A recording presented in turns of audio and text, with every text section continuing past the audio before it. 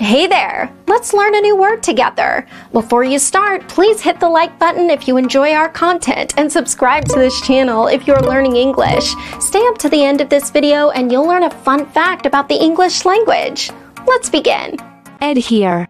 Adhere means stick fast to. For example, paint won't adhere well to a greasy surface. Paint won't adhere well to a greasy surface. Synonyms stick, stick fast, cling. Awesome! You learned that quickly.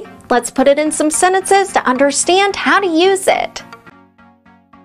The first exempli. The lolly becomes sticky so that the sherbet adheres to its surface.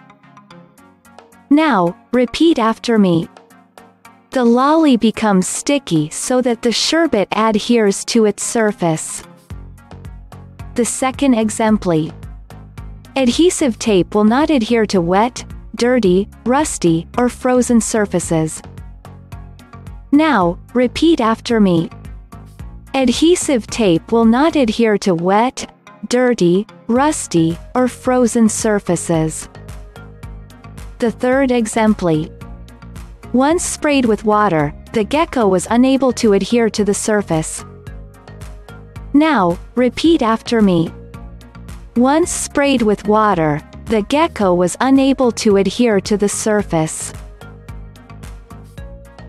Now let's learn an interesting fact about the English language. The phrase, long time no see, is a literal translation of a Chinese phrase. It comes from the Mandarin phrase, how ju bugn. No go, and, no can do, are also similarly borrowed from Chinese. Thank you so much for watching this video up to the very end. If you're not yet subscribed to our channel, hit the subscribe button below. If you're new to our channel, the links to our most popular playlists are below in the description. We've prepared playlists for different levels of English and they're good for different goals that you might have.